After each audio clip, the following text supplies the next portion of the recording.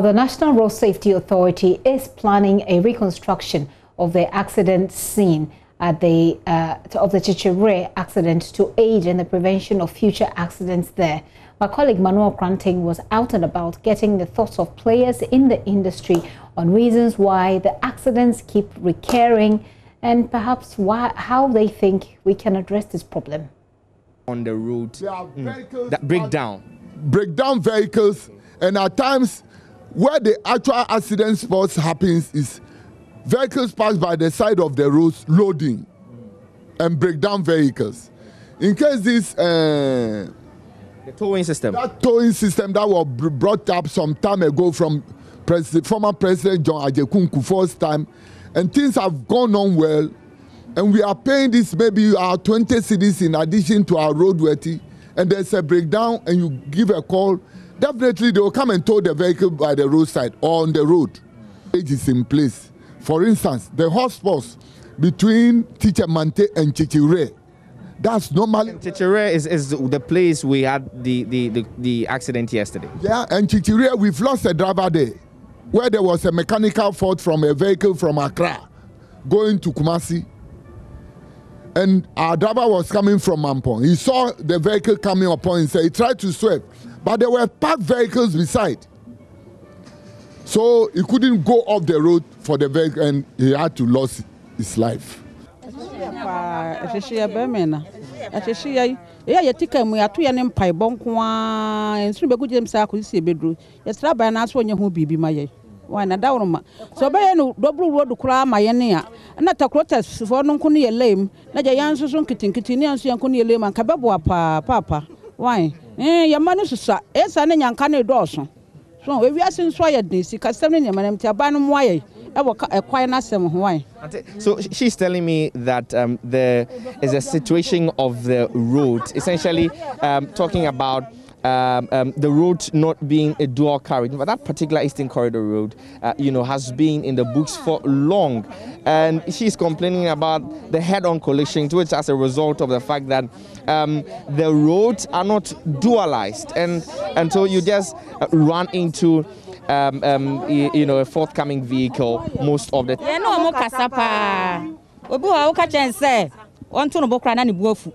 No, no na nti bebree menim deɛ ha wɔn nti wɔn yɛ saa. Nti yɛsrɛ aban. Sɛ wɔn ayɛ yɛ awofo yi ne abaatanfoɔ wɔn ayɛ paa. Ne biribiara nyɛ yie. Yɛsrɛ no ani deɛ mu. Yɛsrɛ no paa sɛ wɔnyɛ kwan no yie ma yɛn. ɛyɛ problem paa. Ɛyɛ problem paa because sɛ wɔn study a saturdays ne ɛyi fridays sɛ kaa sɛ esi kwan mu a nkodo enyim ne kaa abom. Sɛ saa de no nso nka wɔn tumi bua yɛ na sɛ etumi yi saa de ne firi hɔ no ma ɛbɛboa.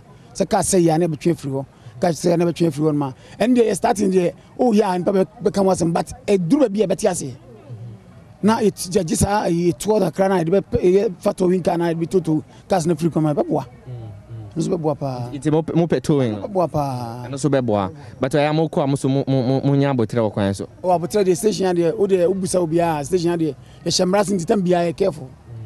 Ɔmpɛ mmela bi nfa nto ho because mmela na driverfoɔ ho driving no ho nti no wɔn tumi yɛ deɛ wɔn pɛ biara so call wɔte kam ne wɔyɛ call overtaking ɛho hia over speeding woka wɔn tie bɛmɛ nɛ ɔbɛn nfa mmela bi nto driversfoɔ no na ɛm sɛ wɔn ni mmela so. ɛsrɛ aban sɛ ɔne adriverfoɔ no nkasa. Ɔduru baabi a poto no wɔ no a ɔnto ne bo bɔkɔɔ asomdue mu. Ɛɛ sɛ yɛ yɛ nam kwan so koraa ne yɛyɛ nkyekyeɛ yi na.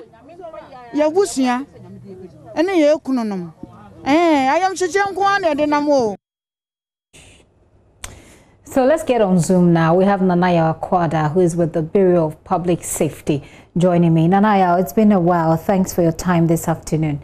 Um, uh, we've seen your report, uh, your report on safety, and two key things that are in the top uh, or are at the top. Road accident and murders or manslaughter happens to be, you know, at the top of the key safety or security issues we have in this country. And we've just dealt, we've just done about two of those stories right now. From where you sit, as we continue to talk about this, is there a solution in sight at all? Um, I believe, good afternoon. Um, I believe your question should be is there an end in sight? Certainly, there is a solution. but as to whether the people in charge of affairs are ready to implement the solutions that will bring an end to this is the bigger is the bigger question. Mm. Mm.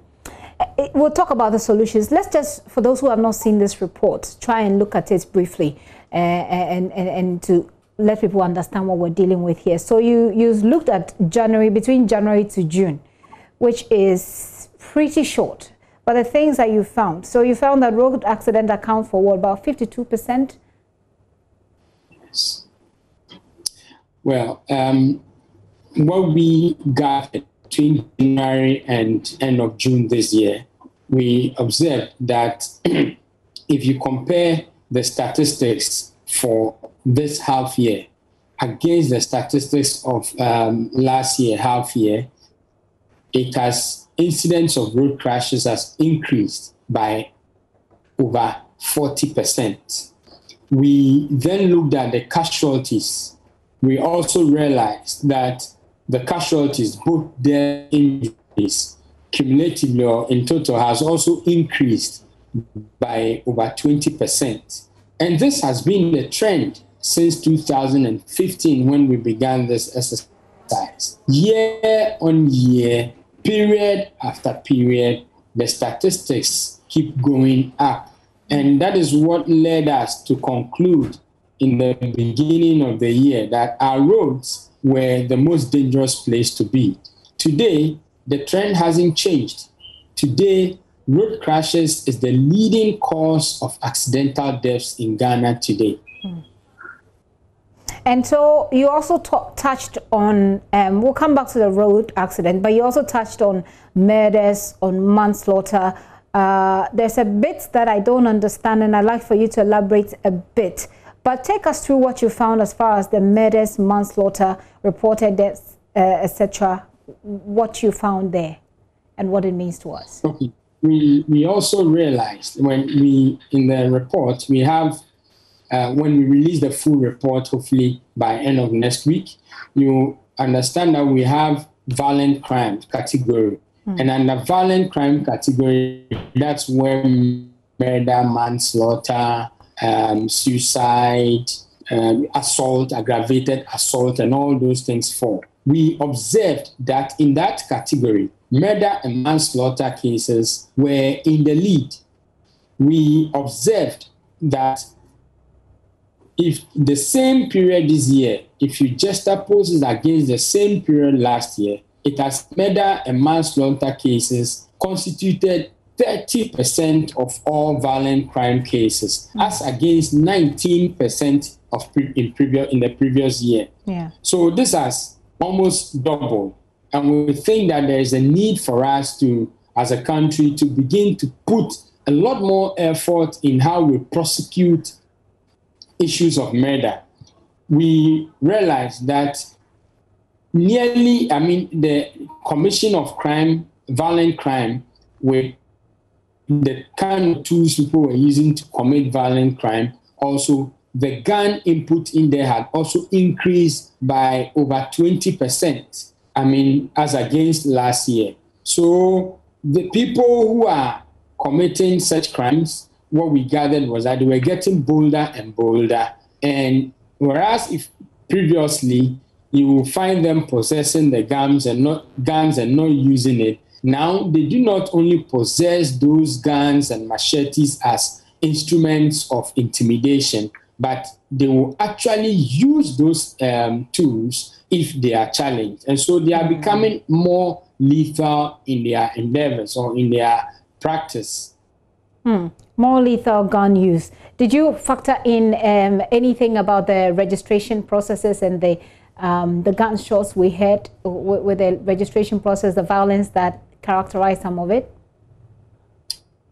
Well, um, you know that we are looking at 10 portals, of which I think My Joy Online is one of the portals. So once the story comes in, there is an injury, there is a death, there is a source of worry. It causes public civil disturbance. That right. story will be logged. Okay. And sub- uh, subsequently, when there are any casualties, that one will be logged as well, pending okay. validation. And so I believe that um, while I cannot tell you which story was um, logged and which story was not logged, I believe that um, gun incidents at the registration center might have been logged in our uh, data. Hmm.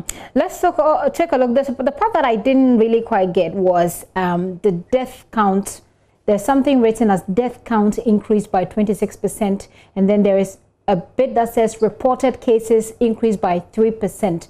Do you want to elaborate a bit on that? I don't really get it.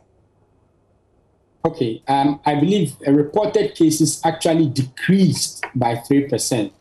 Now, there, there are violent crime cases that may involve multiple deaths. Okay. So, just so people will understand, you won't go to town, oh, violent crime cases have decreased, it has decreased. We want to let people understand that whilst case by case basis, if you compare half year this year to half year in 2019, the cases may have decreased. That is to say, if we had like 68 crime cases in previous year, we now have uh, maybe 65 cases. But we are not out of the woods yet. Mm. The number of deaths that these um, 50 lesser cases recorded far outnumbers the number of deaths that we recorded in previous. And that's what we meant by death count. So even though violent crime, reported violent crime cases had decreased by 3%,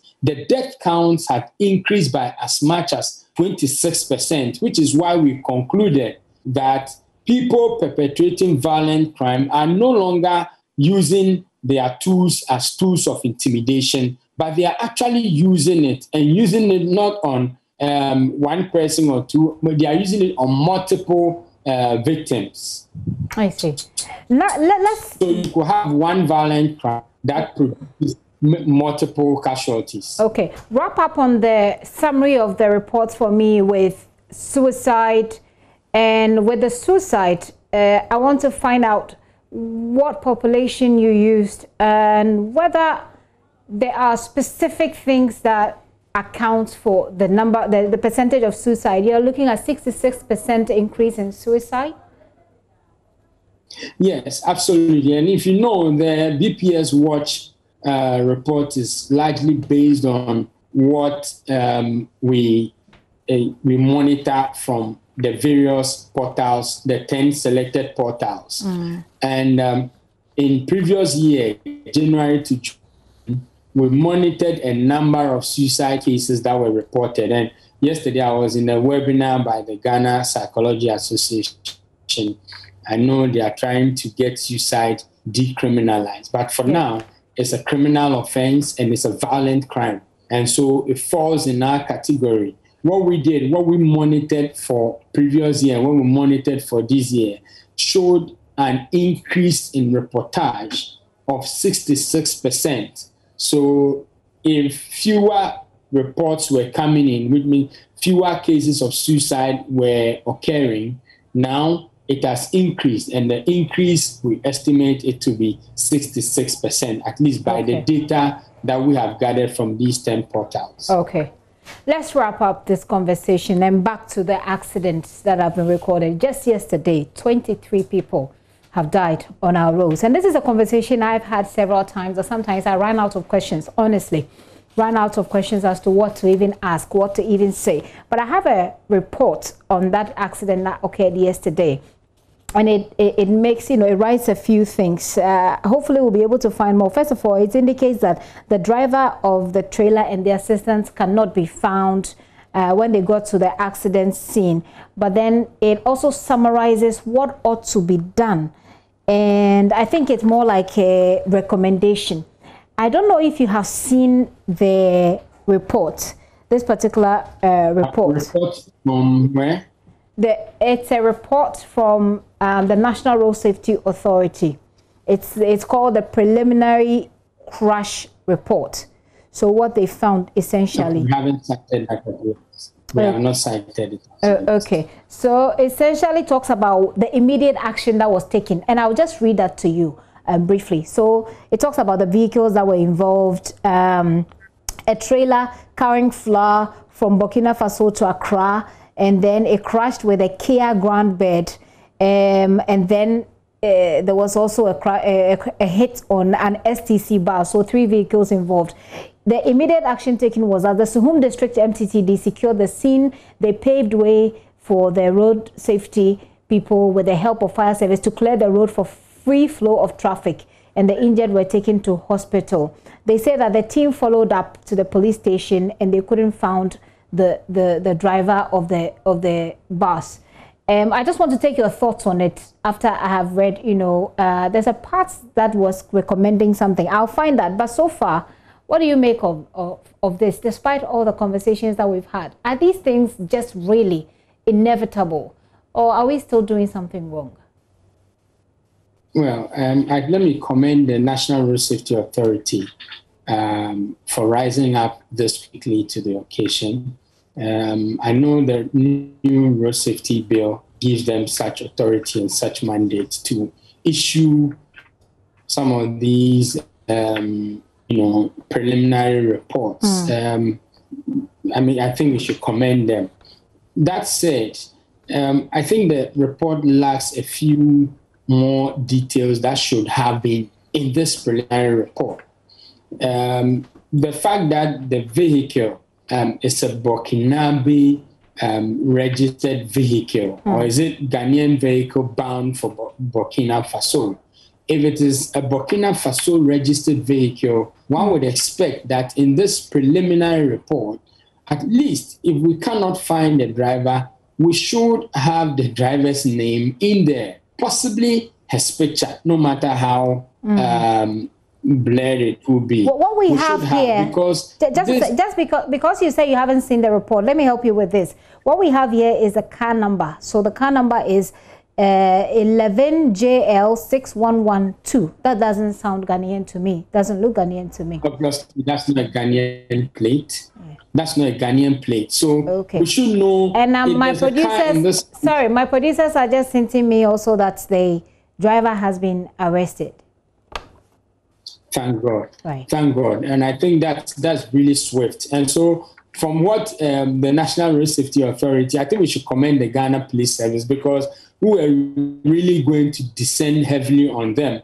Because aside the the incident involving Ghanaian lives, it borders on national security. 24 hours if we could not locate a driver of a, a foreign vehicle that has crossed into our territory we cannot trace the, the driver, we cannot trace even his identity, that will be very, very disturbing. And so mm-hmm. let me commend the police for such a swift action. Okay. Um, I would want us to also, once we get copies or we cite this report, whatever we have to say on it, we mm-hmm. will. But for now, I think that the Road Safety Authority and the Ghana Police Service have really gotten a better side. Very well. I'll just end with this by saying that the report says that the Suhum and Nsawam Highway should be dualized. It sounds like a, it, it says remarks, but of course it's more like a recommendation that's been made by the person who put together this report, who is Abdullahi Bawa Gamsa.